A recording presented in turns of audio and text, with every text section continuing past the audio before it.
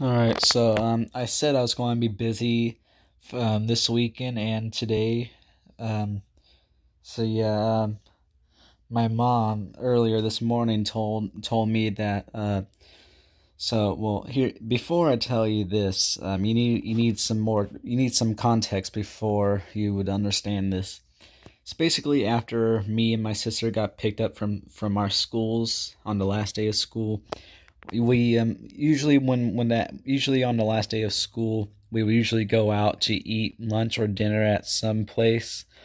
And it's usually a mexican place called los los arcos but this time we went to mcdonald's because uh because um because a storm um it was rolling in when I got out, when I when I literally walked out of school, I seen half the sky was like uh, grayish, and then the other half of the sky was completely black.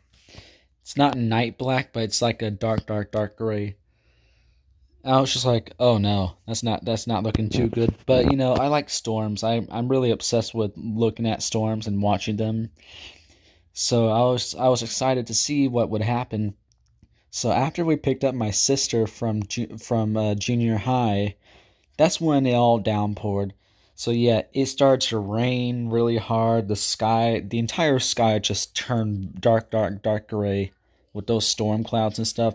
There are tree limbs flying everywhere. Our car was getting hit, and I feel I, I felt bad for all the junior high students that had to walk home that um, that um yesterday so yeah, um, we were supposed to go somewhere at a sit down place, but we didn't want to get trapped in a in a big storm because you know, at that time we, uh, me and my mom generally thought we would have at least a tornado watch or something, because we did we were under a severe thunderstorm warning at that time too. So yeah, so yep, we heard the alert, we heard the ESA alert and everything. So yeah.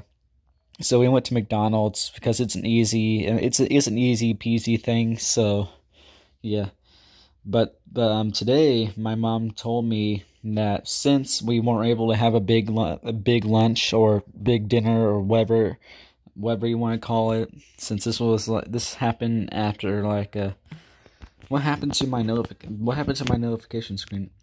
All right, so uh, I kind of lost where I was, but but basically, since a big storm kind of ruined, um, kind of ruined this big lunch and dinner thing, uh, it was like half and a half because this happened like at one o'clock. So because that's when I that's when me and my sister got out of school that um yesterday. So yeah, there's that. So we might be going to Cracker Barrel either today, which I um, certainly doubt it, or me we might go tomorrow, which I think we're going tomorrow. But right now we're a little bit at a standstill. So um, so um, so yeah, there's a request um that Dexter that Dexter yeah it's a, it's a next Tower Street View request. This one has a lot of towers too. It has a it has 23 um can you do it today? What when are you going to do the request? Alright, so right now. Well, there's a little bit of trouble. There's uh there's two Wade roads, but one has uh has uh some SE on it, so so we're we're going over to one that only says Wade Road. So pretty sure there's only one tower here. Yep, tower one. So far we have single towers. Okay, so um, I don't know if this is the right one or not. Let's look at the the other one. Oh, I kind of forgot what the other one was, but don't worry. I have the I have a search history. So uh, there's a oh this is a neighborhood. Of course, there's not going to be a tower here. If there is, it'll be very hard to find. Hmm. Alright, I finally found the right one. So I guess there's there's actually three Wade roads down here. So so uh, yeah, isn't isn't it nice how this place is called? Uh, this city is called Owen something. I don't know, but Owens it, that's the name of uh, the last at least the last name of one of my favorite teachers in my high school. So yeah, he's pretty rad. So it's it's it's pretty nice how this city has its name in it. So, all right, I think I already know what beacon this has. Like I could have sworn I seen a dual strobe on this. There it is. That's a dual strobe. Okay, so there's that one. All right, this here looks like it's it's another lattice tower. So um, this one will probably have a dual strobe as well, but hopefully it has a, a single strobe. Because uh, I consider a single strobe to be the polar opposite of, of, of a dual strobe. Okay, this was not going to have a single strobe unless if it's a 308. I mean 306. And like I guessed, it has a, a, a double, a, not it's a dual strobe. I don't know why I called it, almost called it double strobe. I don't know why, but I think this one's just cooler than the first one. I think that top platform is is the reason why I like it when I see towers have top platforms with no antennas on it whatsoever, just bare.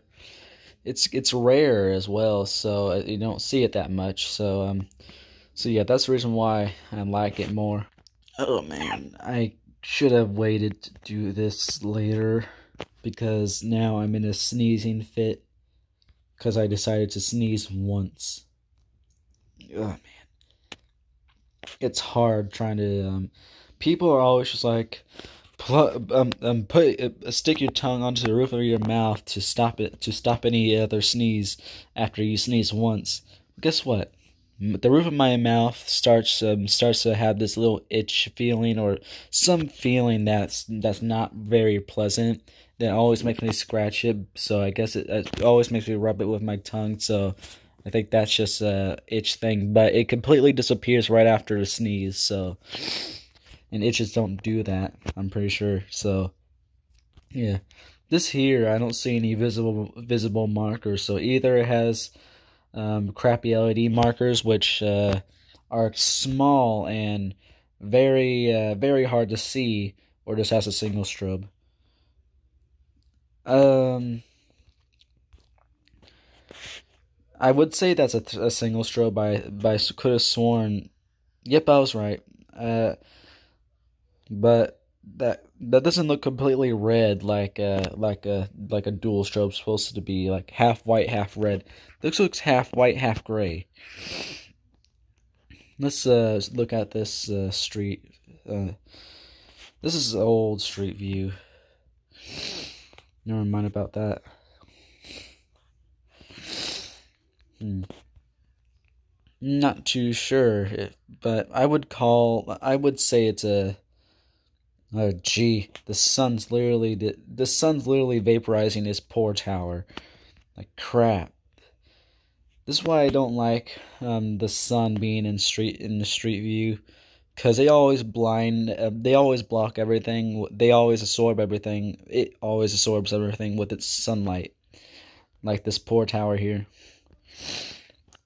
So i would just say this is a this has a, a uh, twr uh, twr strobe and led since i don't see any red it just looks uh, white and gray so yeah i i can see i can see it i could definitely see it being a strobe and led Okay. And so far, all these towers are uh, lattice towers. We haven't seen a uh, guyed tower, monopole, or anything like that. So yeah, I think the I think the only three tower types I know of are uh, like lattice, guyed, and monopole.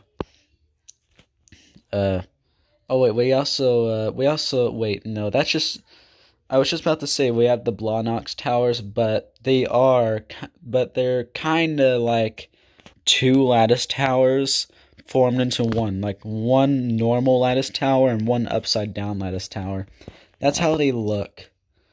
They're very, very cool towers.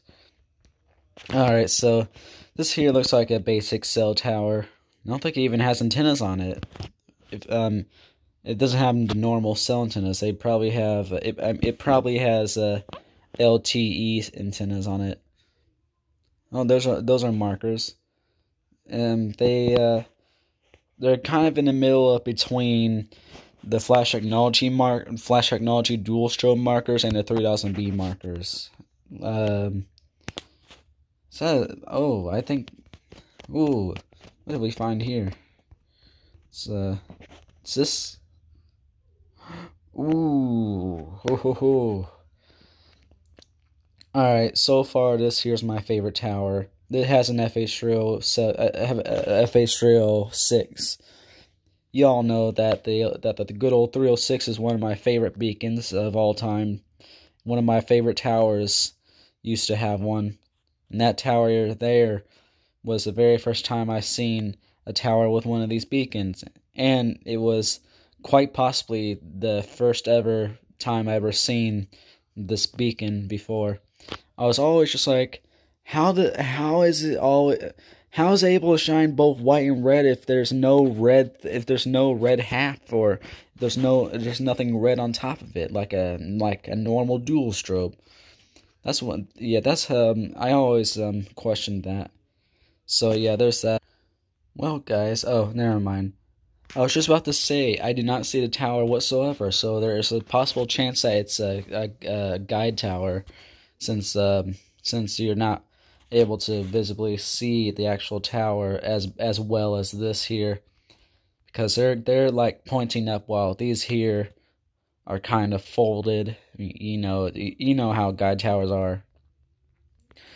So since we've seen uh, like uh, so far since like 90% of the of all of the towers we've seen on this list so far have dual strobes i would imagine this having an led because you know that's how it always works when I find towers. That a lot of them have dual strobes, and then there's always that one that has an LED. Oh, I think I might have been right. Oh, oh, never mind. Well, that's better than an LED at least. It has a good old dual strobe. It's my favorite as well. The Flash Technology dual strobe. I don't, I don't care what you all say, since uh, like every every single tower in this US I know of that ha- that actually has a number one favorite beacon. They're always they're all usually the number one favorite beacons, favorite beacon of any tower enthusiast I know of, are usually the old school incandescents or modern, but mostly old school. So yeah, but I'm here, but I I was placed here to break the mold so yeah, eventually I told my friends that my favorite that my favorite beacon was uh, Flash Technology Dual Strobe. They were just like, "Wait, what? It's not the incandescent?" I was just like, "Well, they're just way more memorable and nostalgic than the incandescents because you know, one of my favorite towers, or a few of my favorite towers, has um has these beacons. So yeah, so uh, now we uh we looked at Tower 5. Uh, Alright, so uh, now Tower 6. I'm already losing count. Well, guys, this here is going to be a small one, but. Oh, it's a monopole. Finally, our first monopole. Our first tower that's not a, a lattice tower. This one looks tall enough to have a beacon, you know. But I don't think it has one. I also found out that Dexter's favorite that Dexter's favorite tower is a monopole that has two dual strobes. Oh, this one has a dual strobe. I can see it. I can I can see the red. Mm, maybe not. It kind of looks uh, weird, you know. So uh, we need to get this clear shot without any trees blocking it. Yeah, that's definitely a dual strobe, but uh, there's no other street view. I can't find a, a good, good, uh, good, good view. All I can see is a red. But I can, uh, what is that? Ooh, I didn't expect to see a Welland today. Yeah, you can definitely, you can obviously see that's a dual strobe but it doesn't have the double dual. And in order for a tower to have a double dual, is a tower must have two dual strobes on top, not one dual strobe and on top with two in the middle. I don't consider that to be a double dual. I consider that to be a two, a two dual strobe setups or two sets of dual strobes. No other tower here. Alright, this one's also a monopole. So it looks like we're getting straight into the monopole phase of this video, looks like. Once you see one monopole, all the others will be monopoles. Wait, this is this is guyed. Oh, never mind. This is a guyed tower. That also looks like a single strobe. The sun's kind of blocking it. what? Markers. Ooh, hoo, hoo. Either this has a single strobe or modern LED because modern LEDs they really do have the appearance of a of a single strobe, which uh, which they they they look like dual strobes. So I mean they look like single strobes so much that even tricked um they even even tricked Anchor 10 one time. But this here does look like an actual full fledged uh, single strobe. So uh, there there's that. All right, so uh, this here, this here is a cool one too. Since it's just like number four. Okay, this one's located in like the middle of a city. So I hope this is not going to be a hard one to find. Oh, there it is. Alright. I like how Google Maps is literally um, showing me the exact spot of the road where the towers I need to find are. Pretty nice. Pretty cool. This one, that looks like a 3000B. Uh, no, I, that sunlight. That sunlight's blocking it. Mm. This street view is kind of wonky. Oh, that's a flash technology dual strobe. Okay. I think it would be nice if it had a 3000B. We need more variety here. Alright, so there it is and everything. I would say I would um knowing how common the um, knowing how common the dual strobes are um, even even today I would I would imagine them being the most popular beacon really of this era because you know um, because you know like um back then the incandescents used to be there's back then the old school incandescents used to be the most popular beacon ever used in America because that's literally the only one that I know of that was around at that time. So yeah, every tower had an incandescent there. I would see I seen an old video of the arch getting built and the last section of the arch getting built it had an old school incandescent on it and uh, yeah, the arch is like from the 70s, uh, 70s or 60s. I don't remember.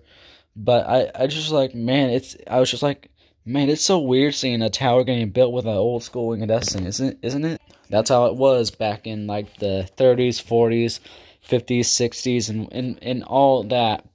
And then dual strobes, I mean, I mean, uh, just strobes in general were invented somewhere in the 70s, I think.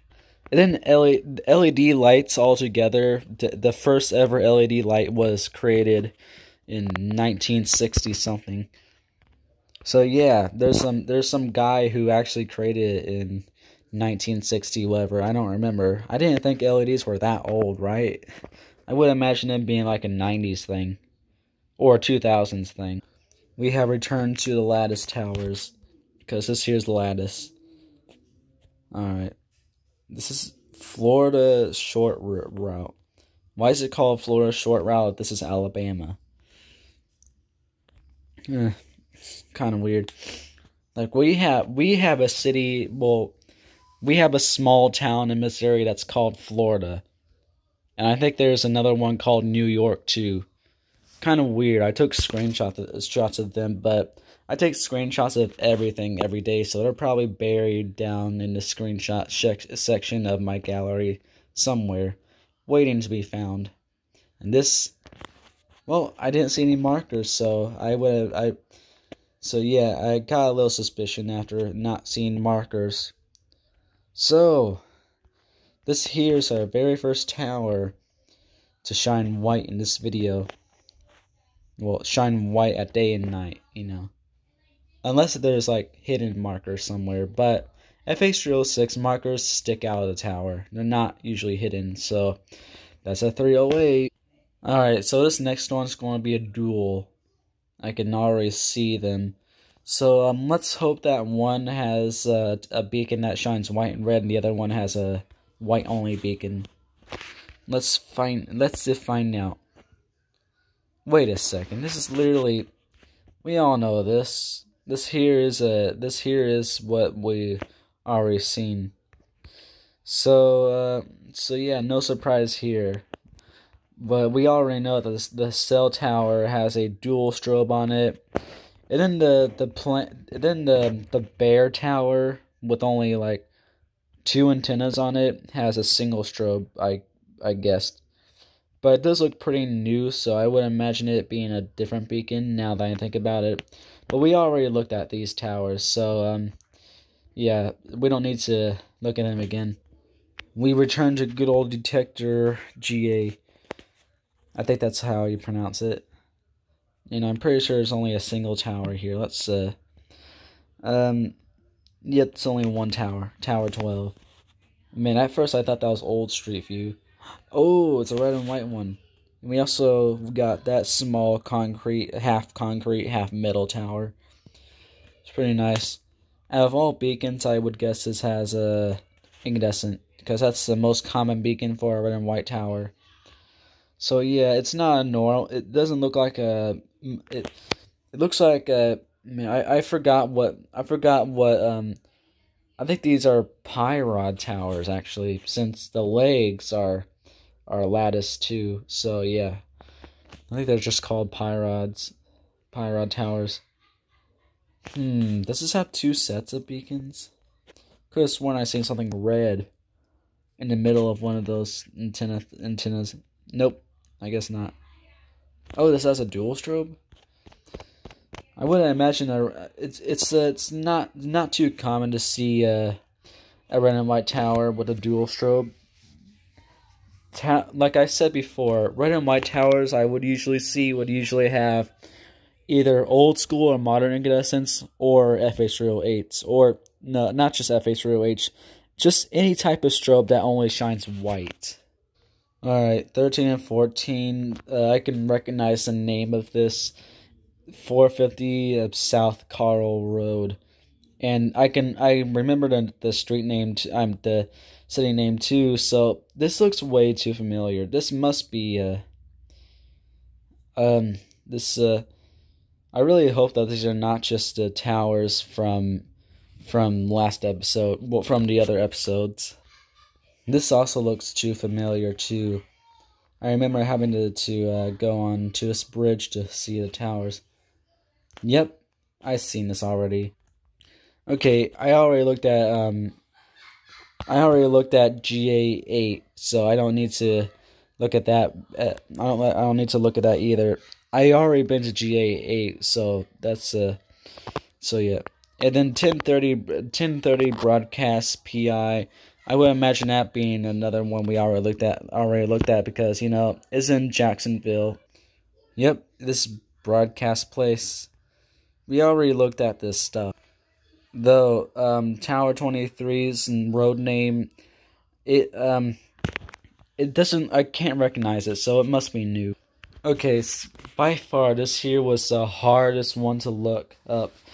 First off, um, first off, can I did I get the numbers right? Yeah, I got the numbers right. So um, so first off, uh, here, right, what about we type up A for Alabama? Okay, this is not it. Okay, I don't know.